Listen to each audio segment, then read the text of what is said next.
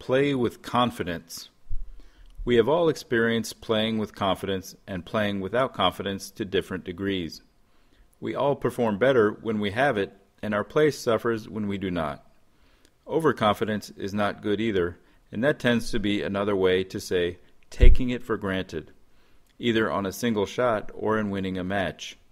What most players want to have is solid confidence, so that they can perform the way they know they can perform. The Merriam Webster Dictionary defines confidence as a feeling or consciousness of one's powers or of reliance on one's circumstances, or the quality or state of being certain.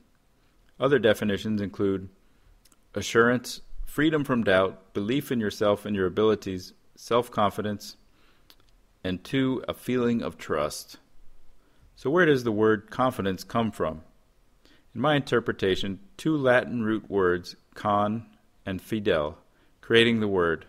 In Latin, con means together or together with, and fi or fidel means faithful. So confidence literally means together with faith. So to play pool with confidence means to play pool together with faith.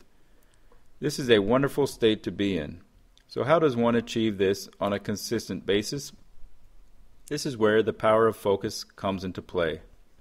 Per the law of attraction or law of resonance, we tend to experience or attract what we focus on. So the question now is what do you have faith in, or what are you focusing on?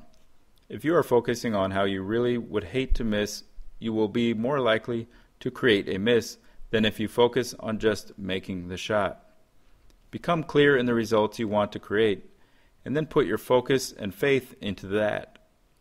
Losing clarity in your desired results can let the idea of what you don't want to have happen into your mind, and your body will create that undesired result, when really it was just a result you haphazardly let slip into focus.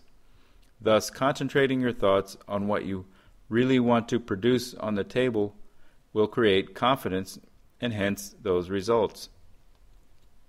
The great golf author and sports psychologist Bob Rotella, in one of his books, states that confidence is focusing on what you want to have happen on the golf course. It can be that simple. And so in pool, confidence is focusing on what you want to have happen on the pool table.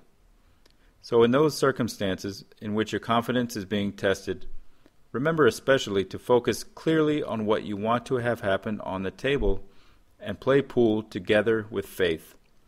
Focus clearly on the exact results you want on the table, in the match, and in the event, and you will be playing pool with confidence.